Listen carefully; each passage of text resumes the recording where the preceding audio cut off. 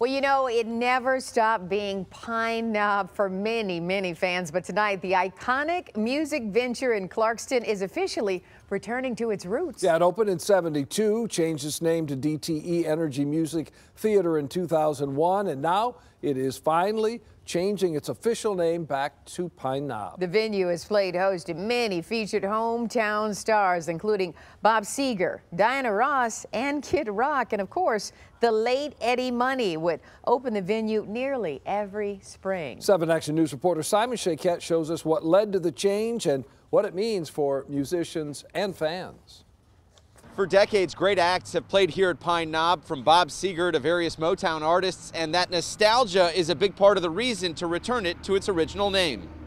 Announcing the return of Pine Knob Music Theater, 313 Presents tells us partnerships with United Wholesale Mortgage and Trinity Health for 2022 will mark an incredible 50th anniversary for the historic outdoor venue. That venue is so comfortable it's a very nice outdoor venue, and it felt like it felt like home to me because a lot of my friends were there. I used to go there uh, and just check out jazz concerts at Pine Knob. How significant is the change of that name back to its original?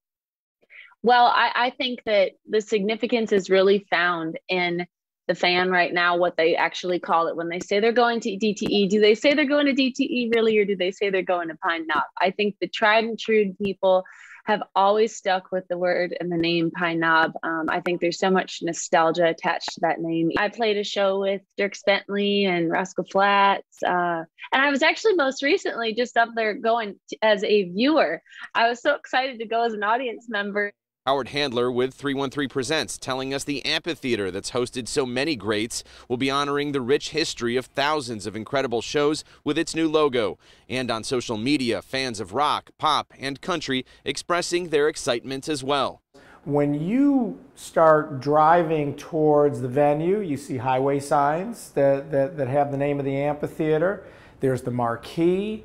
There's signage all over the outside of the venue and inside of the venue. So we're working with some of our partners. The memory that I had was going in there. We were driving in there, and there was just so many people outside of that. I mean, that that was a, a new thing in Detroit for me. And a lot of people, like you were saying, got them T-shirts you know, saying Pine Knob, you know, from back in the day. For many artists who've played here, there are amazing memories that have made Pine Knob a favorite location to perform at. Among the most well-known names, Bob Seger, who played numerous shows here as a hometown favorite. While this cold weather makes concert season feel so far away, rest assured you'll be seeing some of those new signs very soon. From Clarkston, Simon Shaykhet, 7 Action News. Pine Simon, Knob thank you. is the best, yeah, it? it? I sure mean, is. really? And we've been asking you all day what you think about the change of the name back to Pine Knob. Well, here's what you had to say. 97% of you said you love it. And 2% say it doesn't make a difference. 1% don't like it at all. But we thank you all for participating. Kind of fun. We love Pine Knob.